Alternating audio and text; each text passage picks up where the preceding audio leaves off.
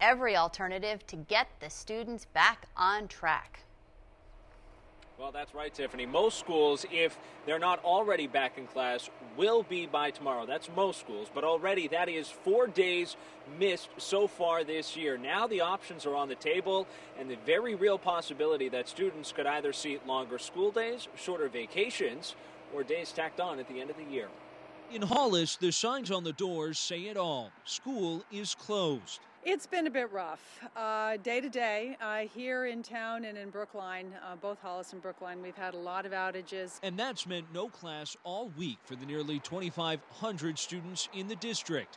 Classes will resume again Friday on a one hour delay, but the focus now is figuring out how to make up any lost time. We've been thinking about it. Um, the new rules, though, with the state level, is that we don't aren't required to have 180 days of school. It just has to be minimum standard of minutes. At Nashua North, the hallways have been empty for days. This is an unprecedented loss of school days before we really begin the winter season. Now the superintendent is hard at work looking at what comes next. Obviously, our focus this week has been on assessing how we get students back in school.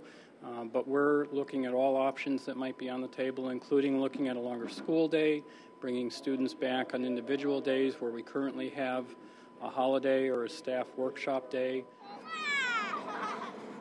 In Manchester, playtime is over with students already back in class, but those three days off were welcomed by many.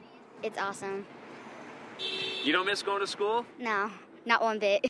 But this third grader may not like the list of options the superintendent is weighing. It includes the possibility of extending the school day, having class during a scheduled holiday, and even school on a Saturday. If it was more than three days, I would seek another option besides excusing it. But where it was only three days, I don't think it's going to balance the curriculum that far out of whack. You know, I don't think the kids will be able to make up for it. Now, both Hollis, Brookline, and Nashua appear to be focusing right now on an upcoming Tuesday that was scheduled to be a teacher workshop day. The students may, in fact, end up in the classroom. We'll have to wait and see on that. Meantime, after that, the district certainly has a lot of options to weigh. Reporting live, Adam Harding, WMUR News 9.